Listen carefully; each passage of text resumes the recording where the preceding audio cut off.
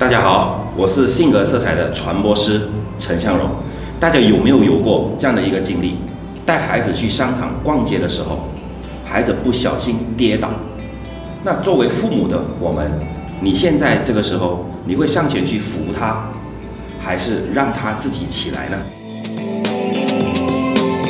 我相信普遍的父母在这个时候都会让孩子自己站起来，因为我们认为。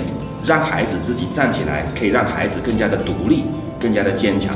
但其实这个做法是不正确的哦。假如你在逛街的时候你跌倒了，你的另一半叫你自己站起来，跟你说要独立，这个时候你会有什么感受呢？作为人，当一个人在跌倒的时候，其实他内心需要的是得到了支持和帮助。当一个人得到支持跟帮助的时候，他会更加的有力量感。